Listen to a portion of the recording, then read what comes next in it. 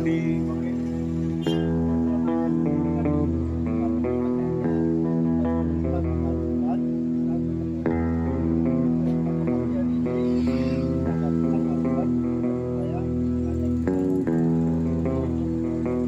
informasikan bahwa pemerintah dalam hal ini uh, masih memberikan situasi ya situasi yang masih belum kondusif sehingga kita di, tetap disarankan untuk tetap pakai masker ya satu.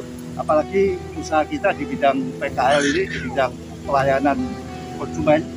Jadi kita betul-betul harus betul-betul harus eh, bebas dari virus. Untuk itu tadi kita bagikan kita bagikan masker ya, supaya mereka tetap menjaga kebersihan